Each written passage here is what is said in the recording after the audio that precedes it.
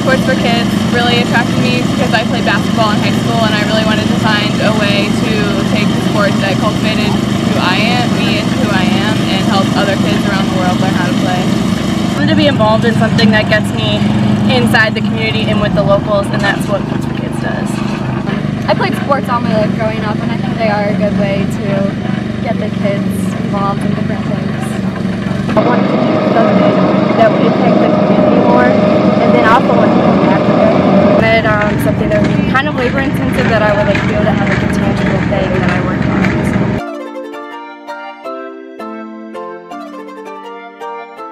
Who will be using the court? I think everybody.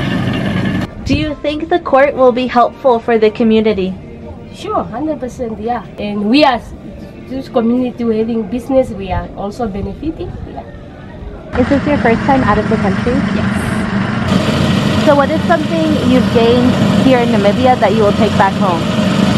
Just a sense of uh, fulfillment, I guess, uh, and just as much fulfillment, happiness, and joy as we do with a lot less. Uh, I think that's something I can take from my life. Um, what I learned about the people is like they're all really, really kind, and I just I like it here a lot. My advice would be step outside your comfort zone. Um, have, it's the only way you can learn from other people and just you know do the work. You might not think you can do it, but get the court done. So. Well, the best piece of advice is just to do it. First of all, don't be nervous or afraid or find excuses not to. Just go with it.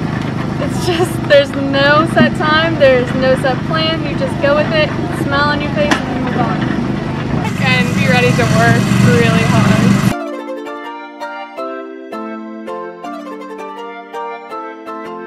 My name is Wamina Shiwangaleni.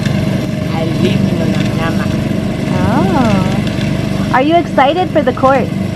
Very excited. I'm very excited.